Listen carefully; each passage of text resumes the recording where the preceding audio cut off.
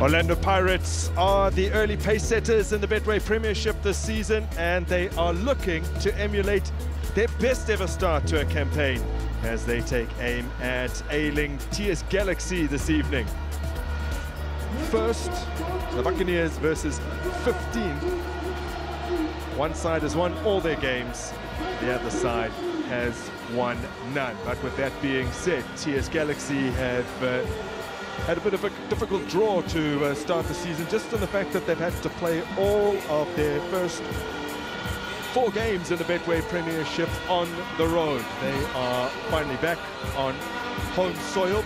The only other instance that they've been at home this season was in the Carling Knockout first round, where they did manage to get a win over Chippa United. And last season they were absolutely excellent here at the Mbombela Stadium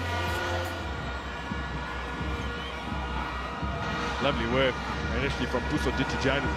And then shots flies wide from Vilasa. It's a good start though for TS Galaxy, a team that you expect maybe to play with a little bit of fear against Orlando Pirates and having failed uh, to uh, win a single game in the four that they played. But like you said, one of the reasons that very is very obvious is that they play most of their games away. It's always very difficult in these beginning stages of the season. Here's King. Oh, getting away from Dithejane beautifully. Talented pattern, it's fly! Oh, excellent! An astonishing effort from Thalente Mbatha. It's just his second club goal of his career. A man who has been making a habit of scoring with the national team, bringing a little bit of that to Orlando Pirates.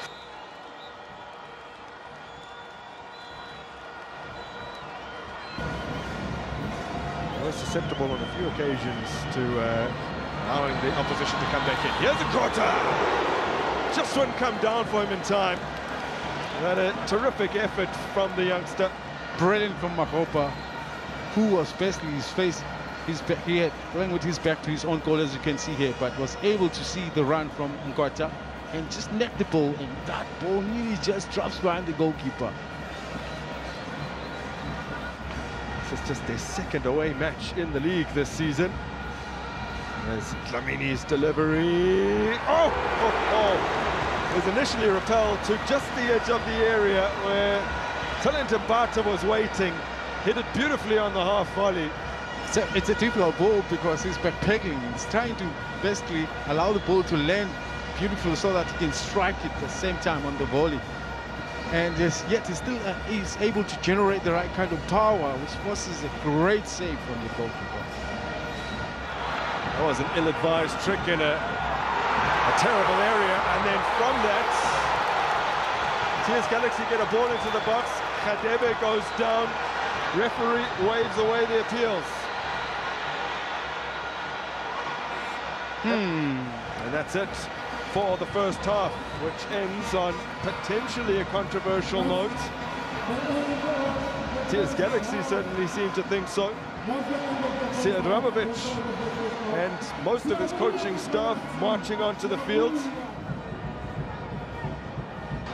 Well, both games between these two last season ended 1-0, both for the hosts as Mofokeng oh!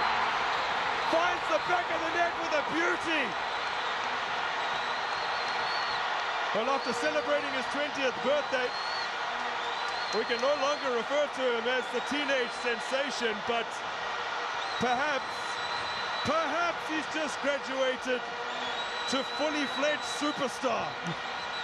Listen, it takes it takes brains to be able to uh, see your environment and read the necessary situation to develop the play in that fashion. They, they've been trying to find the pass that will matter.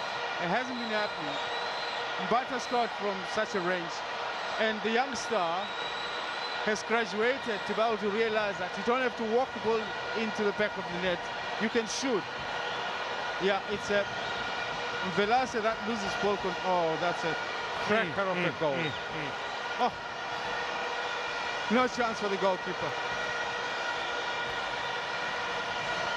Oh, it's a beauty. Top corner. Whew.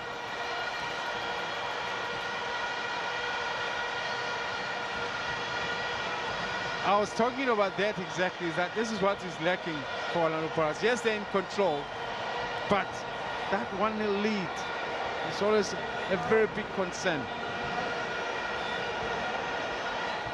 Kabini. Oh, he's going to end up on the losing side, but Kabini's put in a strong showing. Oh, now. Penalty. Down. No. Won't be a penalty. Did Yellow card for a man who's already been booked. And Sibilibili gets his second yellow. His first was uh, was a silly one.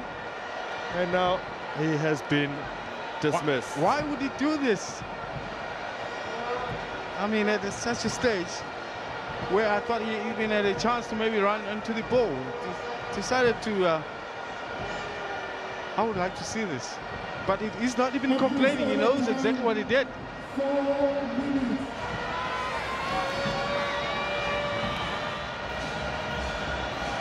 Job well done by the Buccaneers as they continue to pick up three points in the Betway Premiership.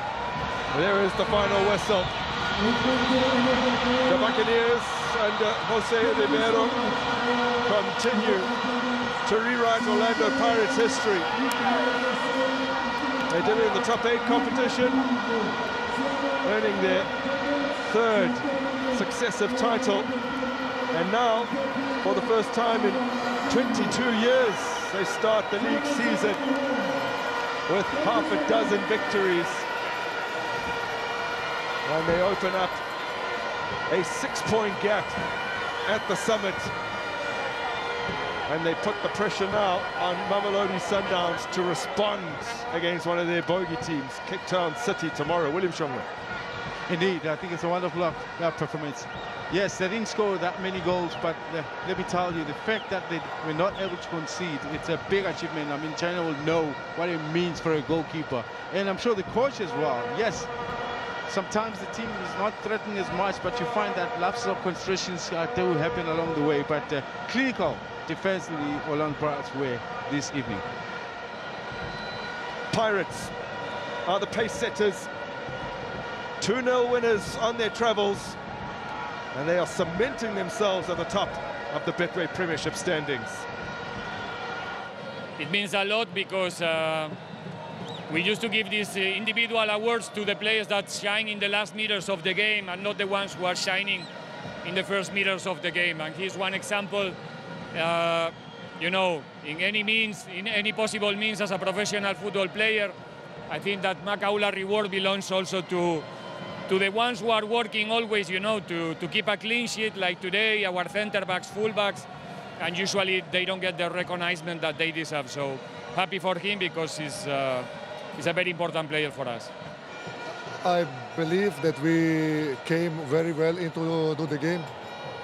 What we made a lot of small mistakes from the build-up, and we got two very cheap goals. Let me say it on this one, but I don't want to take any credit from the opponent. A very strong team, very good players, nice, beautiful club, top coaching staff, but we we concede goals that we should not. All in all, after the 1-0 from Orlando, we knew that they will go a little bit back and wait for the counter-attacks and let us more play. And this is what happened. We had some moments, we had some chances where we could score, but we didn't. And then it's not that easy, of course. And I also have to give a lot of credit to Mike Salembele. Yes, he got a second part, but he is a top player.